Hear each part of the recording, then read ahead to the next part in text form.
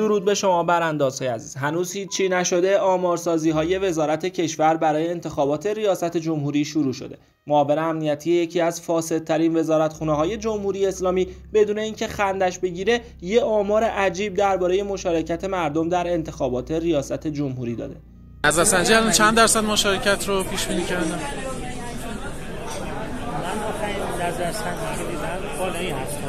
مربوط به؟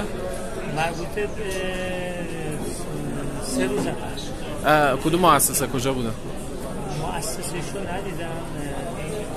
نظر سنجی بود که وزارت ارشاد داره در حالی که هنوز روحانی برای حضور در انتخابات به صورت رسمی ثبت نام نکرده تلاش مخالفینش که می‌تونم بگم طرفداران رئیسی یا همون انقلابی ها هستن برای فشار روی شورای نگهبان شروع شده.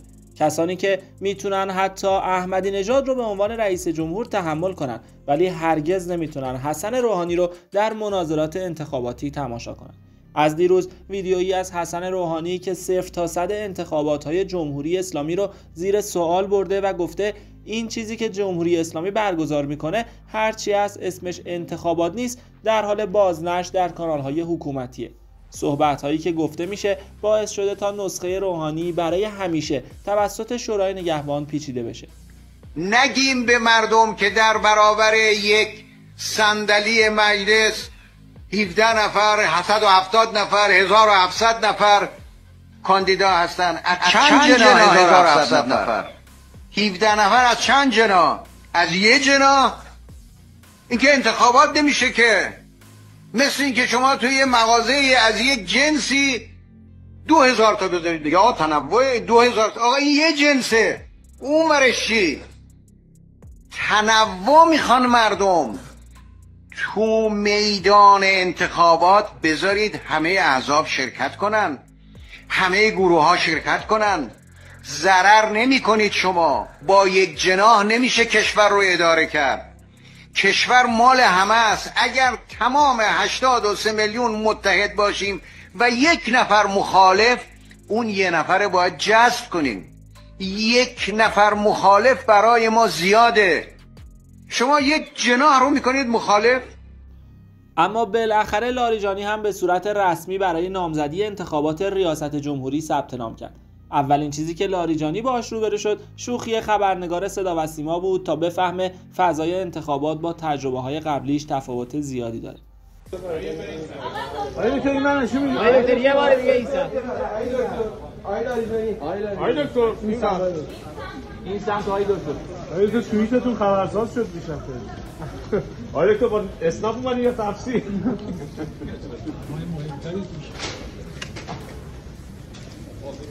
تصویری که خبرگزاری فارس از شناسنامه لاریجانی منتشر کرده هم حسابی خبرساز شده.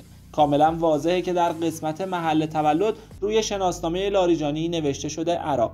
حالا باید ببینیم مرد عراقی اصلا توسط شورای نگهبان تایید صلاحیت میشه یا دوباره مثل گذشته روی اسمش خط کشیده میشه.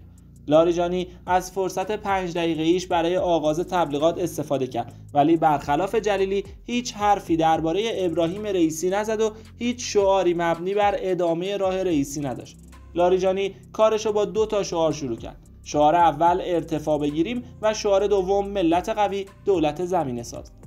مردم عزیز ایران امروز شرایط معیشتی سخت است. شما انتظار دارید حکومت راه حل درستی برای مشکلات بیابد. آیا این مشکلات حل شدنی است آری.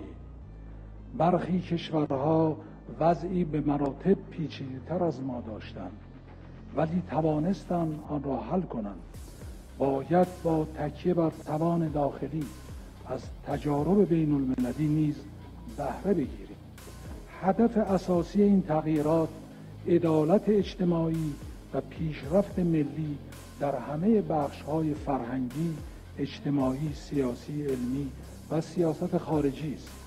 عدالت به این معناست که هر کس به حق خود برسد و پایه این حق حقوق فطری انسان هاست و دولت باید زمینه رشد آن را فراهم کند در این مسیر ما به ملت قوی و دولت زمین ساز می رسیم در این الگو دولت جایگزین ملت نمی شود ولی بستر متوازن برای مشارکت و رقابت مردم در همه حوزه ها را فراهم می کند و آزادی های سیاسی، اجتماعی، فرهنگی و اقتصادی برای این امر ضرورت دارد و زمانی برای از دست دادن نداریم.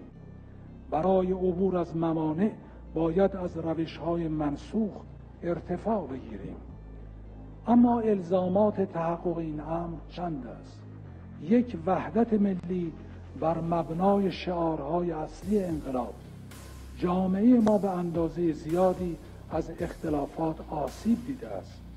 در دولت مد نظر من هر کار بلد و توانایی با هر سلیقه سیاسی به کار گرفته می شود دولت باشگاه یک حزب و یک جناح نیست. به جای نگاه تمرکزگرا و از بالا به پایین زمان امور مناطق ایران عزیز در اختیار نخبگان استانی قرار می گیرد دو دیپلماسی کشور باید پیشرفت ایران را مسئله اصلی تعاملات خود قرار دهد.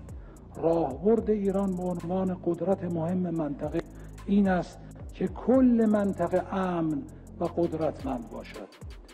امروز ایران عزیز با تمدن کهن نقش آفرین صحنه بین المللی است و همکاری خود را با قطبهای جهانی صرفاً بر اساس منافع ملی و امنیت ملی تعریف می کند در این میان حل مسئله تحریم ها برای گشایش اقتصادی جزء اولویت های دیپلماسی خواهد بود.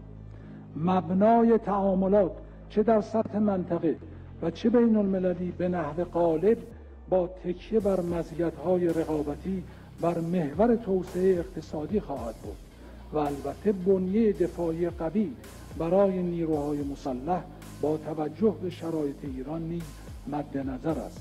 سه تنها با روش علمی می‌توان مشکلات را حل کرد. نه با شعار و نظرات غیر تخصصی. پیامبر ما فرمودند ای پسر مسعود هرگاه به کاری پرداختی آن را با دانش و خرد انجام بده.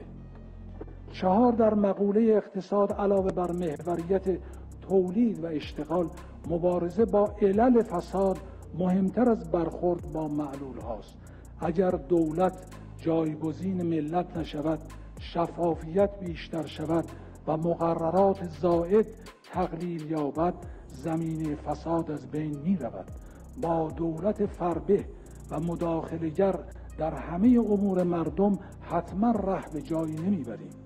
و سخن آخر شهید آیت الله متحری فرمودند حکومت ها ممکن است آرمان های متعالی داشته باشند. اما اگر از اقتصاد سالم و ثروتزا برخوردار نباشند به هیچ یک از آنها نمی‌رسند. لذا تأکید ما در این مقطع زمانی بر توسعه اقتصاد ملی یک ضرورت اجتناب ناپذیر برای نجات کشور است.